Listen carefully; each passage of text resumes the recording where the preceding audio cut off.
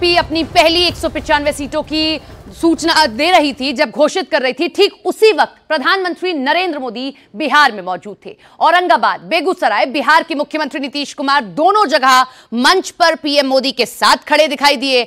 यह तस्वीर इंडी गठबंधन के लिए आम चुनाव में सबसे बड़ी चोट करने वाली तस्वीर है। इंडी गठबंधन ने अब तक सीट शेयरिंग तक पर बात नहीं की है। फॉर्मूले तय नहीं हो पाए हैं। यहाँ बीजेपी ने एक उम्मीदवारों की सूची सार्वजनिक कर दी है। नरेंद्र मोदी जिंदाबाद। नरेंद्र मोदी जिंदाबाद। कोयले के ढेर तो देखे थे, नोटों के ढेर देख रहे हैं। आपका पैसा है। ये झारखंड के गरीब आदिवासियों का पैसा है।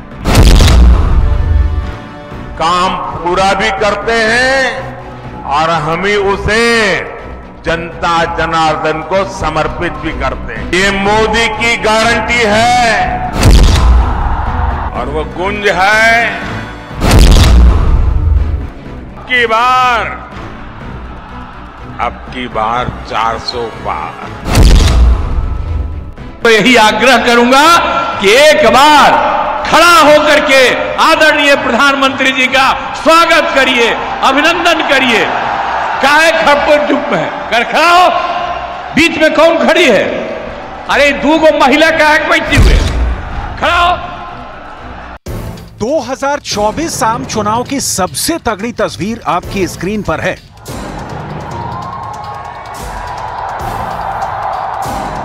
विपक्ष की कमर तोड़ देने वाली इस तस्वीर का गुणा भाग अब की बार 400 के पार ले जाने की क्षमता वाला दिखता है। तो इस बार तक कम से कम 400 सीट आप जीतिएगा। बिहार के औरंगाबाद में मंच पर प्रधानमंत्री नरेंद्र मोदी हैं और उनके साथ हैं बिहार के मुख्यमंत्री नीतीश कुमार। ये पहली तस्वीर है नीतीश कुमार की प्रधानमंत्री नरेंद्र मोदी के साथ। मंच पर जब से नीतीश फिर से एनडीए के हुए आप पहले आए थे इधर हम गायब हो गए थे तभी हम फिर आपके साथ हैं। हम आपको आश्वस्त करते हैं कि आप इधर उधर होने वाले नहीं हैं। हम रहेंगे आप ही के साथ। उनकी पार्टी के बड़े बड़े नेता भी। इस बार बिहार में लोकसभा का चुनाव लड़ने के लिए तैयारी नहीं हो रहे हैं। बिहार एनडीए के लिए स्वर्ग जैसा है। पिछले लोकसभा के आंकड़े एनडीए की बम्पर जीत की संभावना से भरे हैं। नीतीश कुमार 2019 में भी एनडीए में थे और तब एनडीए ने बिहार की कुल 40 सीटों में से उनतालीस सीटों पर जीत दर्ज की थी। बिहार के लोकसभा चुनाव के रिकॉर्ड में और क्या क्या दर्ज है, इसकी डिटेल आगे दिखाएँगे। अभी पश्चिम बंगाल में सियासत के दहकते सवालों की बरसात करते प्रधानमंत्री नरेंद्र मोदी को सुनिए। के दबाव में इन सारे नेताओं ने रात दिन लड़ाई लड़ी। माताओं, बहनों के सम्मान के लिए लड़ाई लड़ी। लाठियाँ खाई। मुसीबतें झेली। बीजेपी के दबाव में आखिरकार कल बंगाल पुलिस ने आपकी ताकत के सामने झुक करके उस आरोपी को गिरफ़्तार करना पड़ा।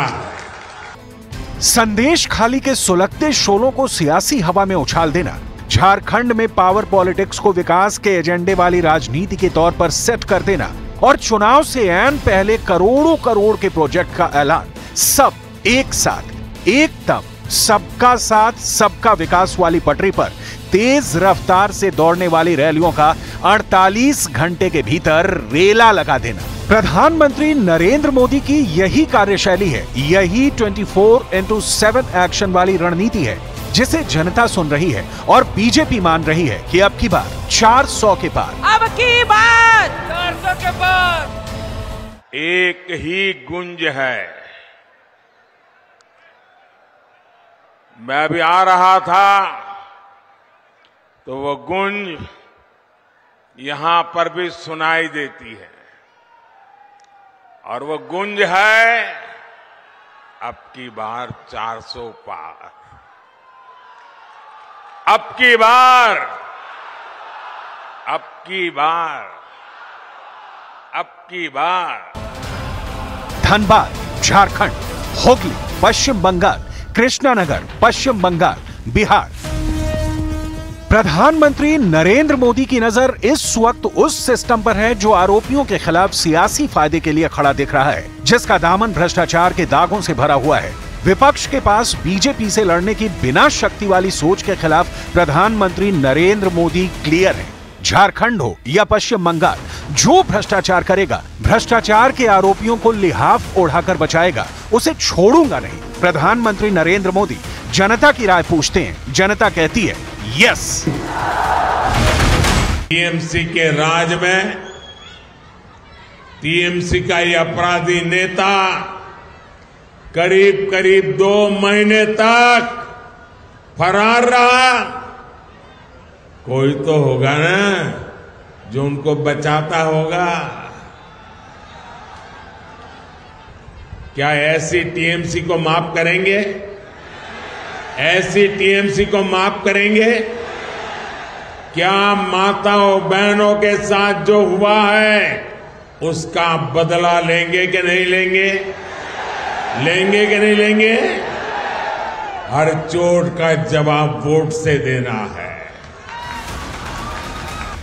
नया कुछ भी नहीं है। न विकास वाला एजेंडा, ना ही खाऊँगा, ना खाने दूँगा वाली सोच।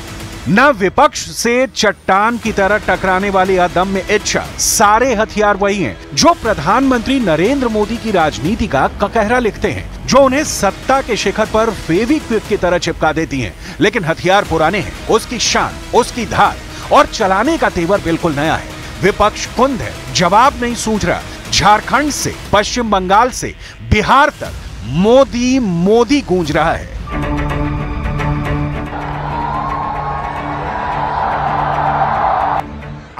आरामबागवासी के अमार आंतरिक शुभेच्छा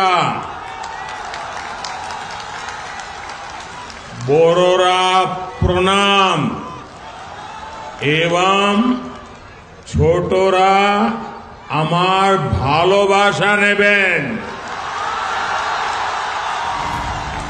तूफानी दौरा करते हैं प्रधानमंत्री नरेंद्र मोदी रात के तीन बजे गुरुवार को टिकट बांटने की रणनीति पर विचार करते हैं, बैठक करते हैं और अहले सुबह झारखंड के धनबाद में होते हैं। देश की जनता को गारंटी देते हम काम की शुरुआत भी करते हैं, काम पूरा भी करते हैं और हम ही उसे जनता जनार्दन को समर्पित भी करते हैं। ये मोदी की गारंटी है। ई मोदी के गारंटी है प्रधानमंत्री नरेंद्र मोदी की रैलियों की रफ्तार देखिए और तय कीजिए, सत्ता के शीर्ष पर जहाँ दूर दूर तक विपक्ष का कोई संभावित चेहरा नहीं दिखता, जहाँ हर खिलाफ रणनीति बीजेपी के बाग में कांटे की तरह उगती है। और फिर प्रधानमंत्री नरेंद्र मोदी उसका तिनका तिनका जड़ से ज़मीन से उखाड़ देते हैं। आपको आगे दिखाएँगे कि पश्चिम बंगाल की सिर्फ़ तीन सीटों के समीकरण से कैसे प्रधानमंत्री नरेंद्र मोदी ने पूरे पश्चिम बंगाल में नारी शक्ति की ममता बनर्जी की सियासत को ज़ोर का झटका दिया है। लेकिन पहले तूफानी रैलियों को एक नज़र देखिए। एक्शन पैक्ड रैलियों का गणित देखेंगे तो आप चौंक जाएँगे। दो दिन, तीन राज्य, छियानवे सीट का सौभाग्य। एक मार्च की सुबह पीएम मोदी ने झारखंड के धनबाद में रैली की। इसके बाद पीएम मोदी ने सिंदरी में हल उर्वरक प्रोजेक्ट का उद्घाटन किया।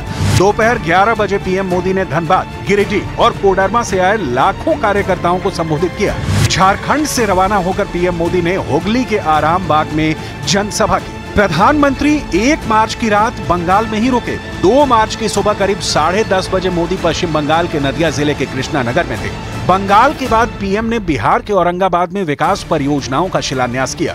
फिर बिहार के बेगूसराय में सार्वजनिक कार्यक्रम में शिरकत की। जिन तीन राज्यों में प्रधानमंत्री नरेंद्र मोदी ने रैलियाँ की, उन राज्यों में लोकसभा सीटों की सेटिंग बीजेपी के पक्ष में है। बिहार में बीजेपी अगर इस बार बढ़ी तो एक सीट बढ़ने की ही गुंजाइश है। 2019 में एनडीए ने बिहार में उनतालीस सीटें जीती थी। बिहार में लोकसभा की कुल 40 सीटें हैं। नीतीश कुमार फिर से एनडीए का हिस्सा हैं और बिहार में 2019 दोहराने की पूरी संभावना है। लेकिन प्रधानमंत्री नरेंद्र मोदी चांस वाली राजनीति नहीं करते। उनकी रणनीति की बिसात पर विपक्ष चाहे ज़मीन पर पड़ा हो, लेकिन उसे कमज़ोर समझने की भूल नहीं की जा सकती। 400 सीटों के टारगेट में रत्ती भर की कोर कसर नहीं रह जाए। इसलिए प्रधानमंत्री नरेंद्र मोदी विपक्ष की बखिया उधेड़ रहे हैं। परिवारवादी राजनीति हाशिए पर जाने लगी है। परिवारवादी राजनीति की एक और विडंबना है। माँ बाप से विरासत में पार्टी और कुर्सी तो मिल जाती है, लेकिन माँ बाप की सरकारों के काम का एक बार भी ज़िक्र करने की हिम्मत नहीं पड़ती है। ये है परिवारवादी पार्टियों की हालत। बिहार की 40 सीटों का गणित लगा लिया आपने तो पश्चिम बंगाल का रुख कीजिए, जहाँ ममता बनर्जी की पूर्ण बहुमत की सरकार है, लेकिन सरकार भ्रष्टाचार के आरोप से घिरी है। गैंगरेप के पीड़ितों की अनसुनी आरोपों से घिरी है। आरोपियों को शरण देने के आरोपों में फंसी है। प्रधानमंत्री नरेंद्र मोदी चुन चुन कर बोलते हैं, पश्चिम बंगाल की टोटल लोकसभा सीटों का समीकरण सिर्फ़ तीन लोकसभा क्षेत्रों में दौरे से प्रधानमंत्री नरेंद्र मोदी ने कैसे सेट कर दिया? आपको आगे दिखाएँगे। पहले इन तीन सीटों को ही क्यों चुना गया? ये समझ लीजिए।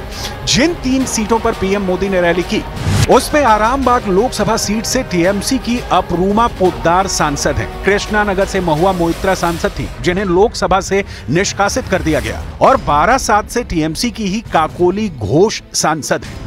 मतलब पश्चिम बंगाल में महिला प्रतिनिधियों की टीएमसी की ओर से कोई कमी नहीं है, लेकिन संदेश खाली में महिलाओं के अधिकार के लिए अनुसूचित जाति आयोग, मानवाधिकार आयोग सवाल खड़े करता है। लेकिन ममता बनर्जी की सरकार एक्शन में नहीं आती।